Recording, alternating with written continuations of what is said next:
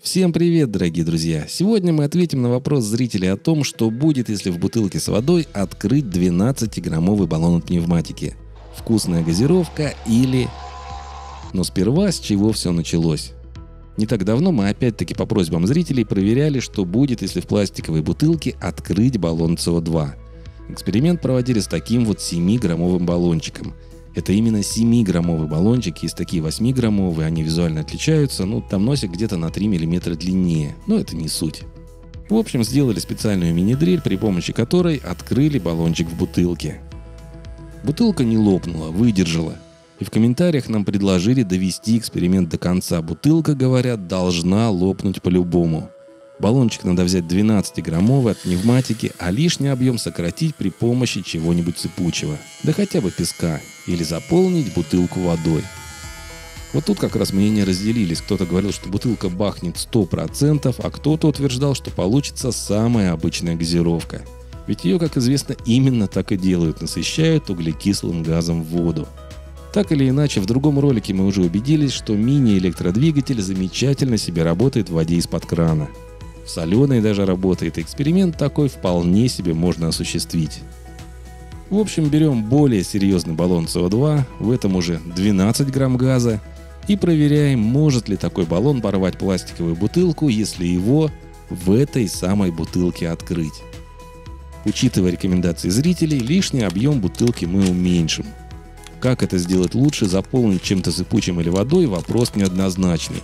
Поэтому сделаем и так, и так – для начала заполним бутылку горохом. Он достаточно твердый, думаю, для этой цели подойдет. Удаляемся на безопасное расстояние и включаем мини-дрель.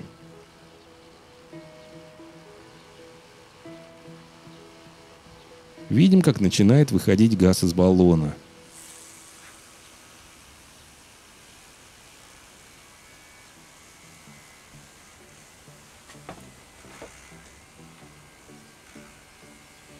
Неактивно как-то увеличивается объем бутылки, поэтому дрель на всякий случай периодически снова включаем.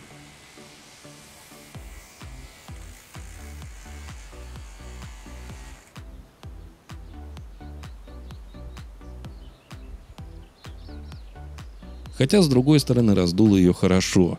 Вот такая она была в начале, и вот такая стала сейчас. Ладно, не ту мы, конечно, немного бутылку взяли. Нужно было брать без каких-то декоративных неровностей. А то так она распрямляется, объем увеличивается и внутреннее давление растет не так стремительно, как хотелось бы. В общем, было принято решение ускорить процесс баха бутылки. И специально обученный и подготовленный человек, одев перчатки, защитный щиток и беруши,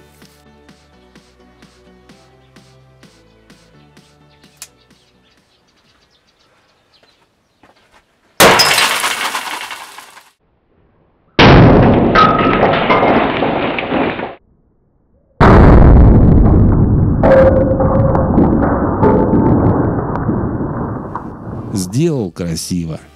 Кадры получились зачетные, особенно рука в перчатке и горох в воздухе.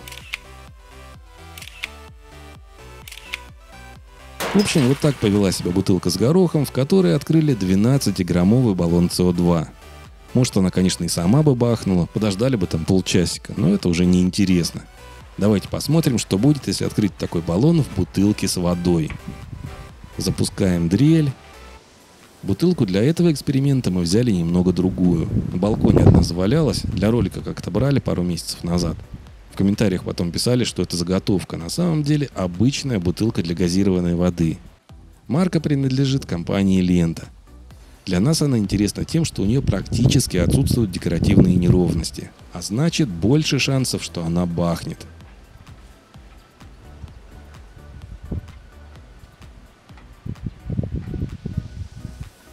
Что-то как-то медленно все идет.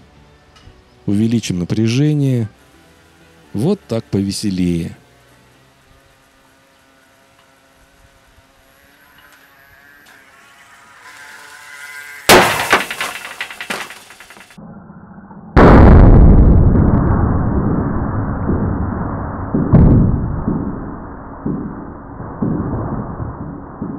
Ну вот как-то так.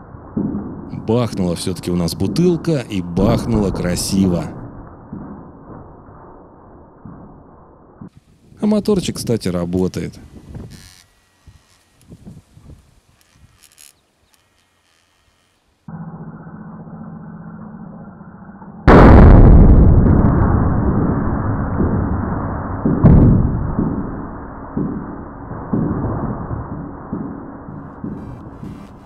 А на сегодня у меня все. Ставьте лайки, пишите комментарии, подписывайтесь, кто не подписан, нажимайте на колокольчик, чтобы получать уведомления о новых видео. Всем удачи и хорошего настроения!